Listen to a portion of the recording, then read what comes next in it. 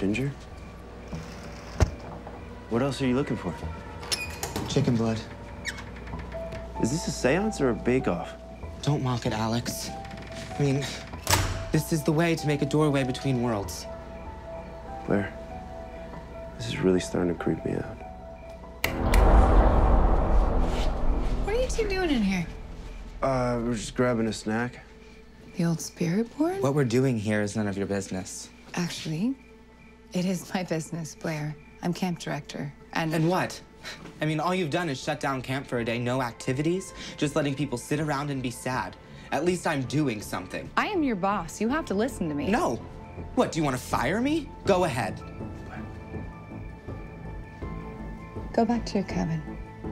I'll speak with you in the morning. Yeah, maybe we should. No, screw that. I'm tired of taking orders from someone who obviously doesn't know what the hell she's doing.